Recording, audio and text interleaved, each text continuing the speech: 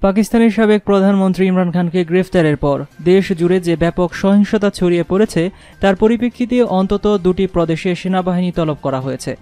পাঞ্জাব এবং খাইবার পাক্তনখোয়া প্রদেশে পরিস্থিতি সামাল দিতে সেনা নামানো হচ্ছে। আজ বুধবার বিকেল পাঁচটা পর্যন্ত পাকিস্তানের পাশোয়ারে সহিংসতায় চারজন নিহত ও বহু আহতের খবর পাওয়া গেছে। একটি প্রতিবেদনে এই খবর জানিয়েছে জিও টিভি।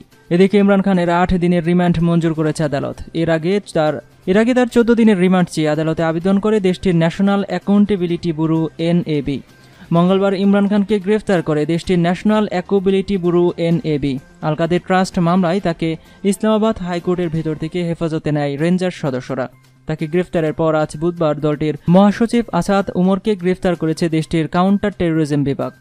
ইমরান খানকে যে আদালতে প্রাঙ্গণ থেকে গ্রেফতার করা হয়েছে, তাকেও সেখান থেকে তুলে নেওয়া হয়। ভারতীয় গণমাধ্যম বলেছে, ইমরানের গ্রেফতারিতে বিক্ষোভে আগুন শুধু পাকিস্তানের ভেতরেই নয়, আগুন, আগুনে পড়ছে আমেরিকা থেকে ব্রিটেন ব্রিটেন থেকে কানাডা সহ একাধিক দেশ। পাকিস্তানের নাগরিকরা বিক্ষোভ দেখাচ্ছেন ইমরান খান গ্রেফতারের, গ্রেফতার হওয়ার প্রতিবাদে। এদিকে রাজনৈতিক অস্থিরতা তৈরি হওয়ায় বিশেষ সতর্কতা জারি করেছে আমেরিকা, ব্রিটেন এবং কানাডা। বিশ্বের সর্বশেষ নিউজ বিশ্বের সর্বশেষ নিউজ সবার আগে দেখতে আমাদের চ্যানেলটি সাবস্ক্রাইব করে পাশে থাকা বেল আইকনটিতে ক্লিক করে রাখুন। এতক্ষণ সাথে থাকার জন্য ধন্যবাদ সবাইকে।